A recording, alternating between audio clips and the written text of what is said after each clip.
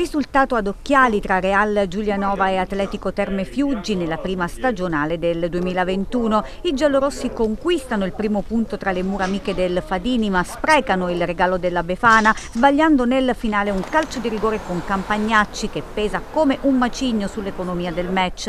Senza Cristiano Del Grosso che ha lasciato il Giulianova per accasarsi alla Casertana, Federico Del Grosso arretra Danna in difesa con D'Antonio sull'out di sinistra, spazio a Mariani a centrocampo campo, mentre in avanti Campagnacci, Pedalino e Antonelli formano il tridente offensivo. Incocciati fa esordire dal primo minuto in difesa il neoarrivato Mario Esposito, Proia detta i tempi a centrocampo, mentre il terminale offensivo è il giovane 2002 Cifarelli, supportato da Basilico e Bittaie. Dopo una prima fase di studio al diciottesimo a farsi pericoloso e il Fiuggi sugli sviluppi di un calcio di punizione, Forgione di testa spedisce la sfera non lontana dal palo sinistro della porta difesa da Amadio Dio. La gara è agonisticamente combattuta dalle due formazioni ma offre poco spettacolo e scarse occasioni. Sono gli ospiti a provare a fare la partita e a conquistarsi al 33esimo un calcio di punizione dal vertice destro dell'area di rigore che Basilico però spedisce alto oltre la traversa. Ancora laziali al 38 pericolosi con Proia, la gran botta dalla distanza del centrocampista termina fuori di poco. Il Giulianova fatica a creare occasioni e l'unico episodio da segnalare al 44 è quello che vede protagonista Antonelli che recupera palla al limite dell'area ma la conclusione è imprecisa.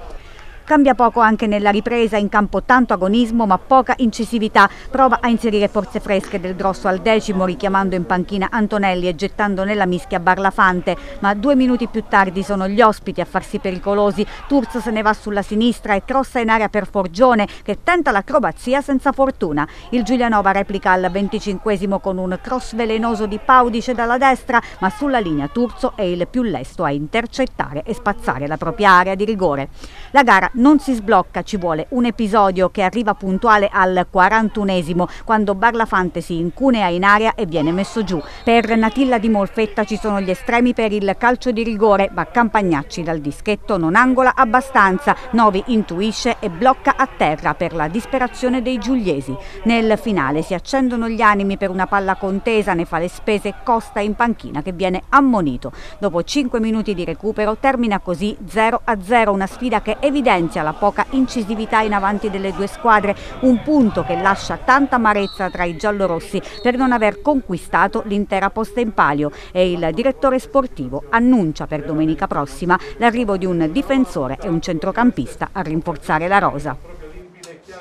Però sono errori che si commettono, quindi non, eh, non è giusto colpevolizzare questo errore. Eh, però ci prendiamo questo punto, zero gol subiti, non, non abbiamo rischiato quasi nulla, abbiamo creato qualcosina, quindi alla fine sapevamo che era una partita eh, alta sul ritmo agonistico, purtroppo il campo non permette delle grandi giocate, eh, un, abbiamo rischiato qualcosina noi tra l'altro nel primo tempo, complicarci la vita da soli, però ecco, tutto sommato con il morale che, che, ha la squadra secondo me è un buon punto. Sappiamo quali sono i nostri limiti, però mi, mi interessa, preferisco ecco, esaltare quello che, che, i ragazzi hanno fatto di buono perché um, la società mi sta mettendo a disposizione una, eh, insomma, dei ragazzi competitivi per raggiungere la salvezza quindi aspettiamo, dobbiamo lavorare, un passettino alla volta raggiungeremo questo, questo obiettivo.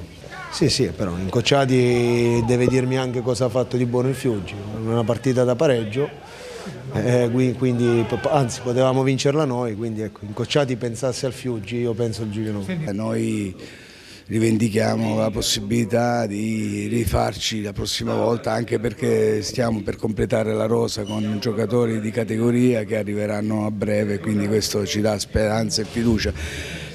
Dove, in quali, in quali ruoli arriveranno questi giocatori? Dove il Giulianova in questo momento ha più bisogno secondo lei?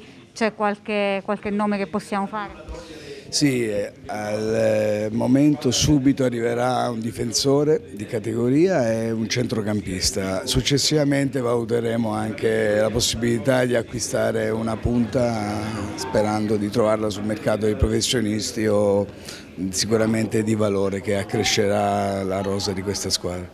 Quindi tre saranno i giocatori che andranno a completare, a rinforzare la rosa del Giulianova o ci sarà anche qualche altro innesto? No, momentaneamente due nell'immediato per domenica, successivamente abbiamo la possibilità del tempo che ci consente la possibilità di intervenire sul mercato, quindi guardiamo con riflessione, non ci affrettiamo, vogliamo semplicemente delle, colmare delle lacune laddove sono evidenti. Le partite si vincono quando riesci ad essere determinante in zona gol, perché insomma, per il resto direi che in fase non possesso siamo stati abbastanza accorti, abbiamo gestito bene la gara, abbiamo tenuto sempre il pallino del gioco, eh, a mio parere, e quindi ho poco da, da, da, da recriminare ai miei ragazzi, però bisogna essere più cattivi in zona gol, bisogna capire che questo gioco per vincere bisogna fare gol, altrimenti poi si rischia di prenderlo anche per un episodio avverso come ci sta accadendo da diverse settimane e anche oggi grazie al nostro portiere l'abbiamo sdentato, quindi speriamo che anche questo aspetto venga messo da parte, però noi abbiamo necessità, come dicevo prima, di essere più cattivi in zona gol, anche se ci mancano degli uomini importanti che stiamo recuperando nella speranza che quanto prima possano tornare in mezzo a noi.